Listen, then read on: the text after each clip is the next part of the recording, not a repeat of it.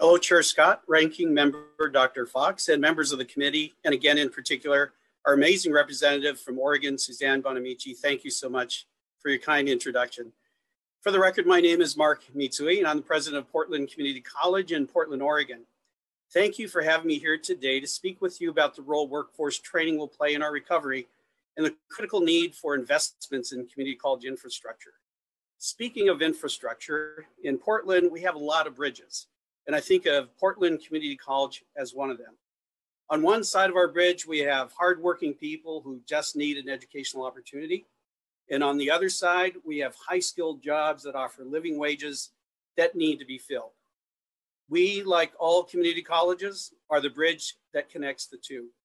Investments in the students who cross the bridge and investments in the bridge itself can keep America on the forefront of the world economy and create a more equitable recovery. That's why we appreciate the president's proposed $12 billion community college infrastructure investment. Developing leading edge skills requires leading edge equipment and facilities. That equipment is getting old and our facilities are as well. Due to inadequate funding, academic facilities have a backlog of infrastructure and deferred maintenance projects. In evaluating facility needs, the American Association of Community Colleges estimates that the national total deferred maintenance, renovations, and upgrades to be $60 billion. While there is a cost to these needed improvements, the good news is the community colleges are a great investment at PCC, for every public dollar that's invested in our college, taxpayers see a $2.70 return. Society as a whole in Oregon sees a return of $8.20 in reduced social cost and increased earnings. Likewise, a national commitment to edu education and training is also essential because post-secondary credentials are the new minimum. According to Georgetown University, 99% of jobs created during the last recovery went to those with at least some post-secondary education. According to the Lumina Foundation, about half of adults between the ages of 25 and 64 lack a post-secondary credential. Without upskilling opportunities, half of the adults in this country are at risk of being locked out of the next economy.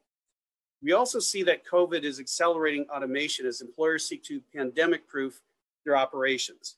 The World Economic Forum estimates that by 2025, on a global basis, automation may displace 85 million jobs and foster 97 million new roles.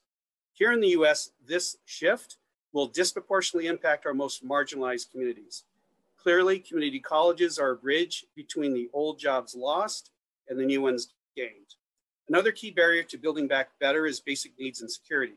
According to a national survey conducted during the pandemic by the Hope Center at Temple University, nearly 60% of respondents indicated they experienced either food or housing insecurity with a black white gap of 16%.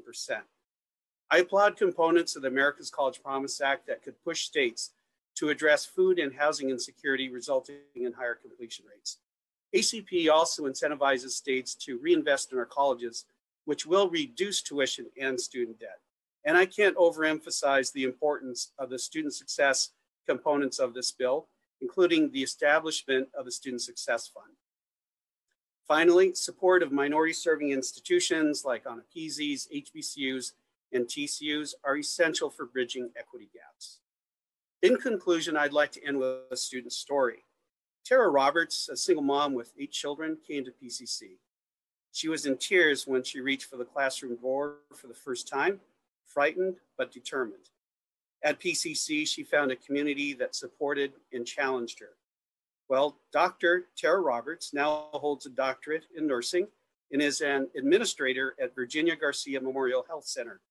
All eight of her children completed post-secondary education. Two now teach at PCC. America's College Promise and the infrastructure investments are about helping more people like Tara and their families cross that bridge to a better life. Thank you for the opportunity to speak with you today.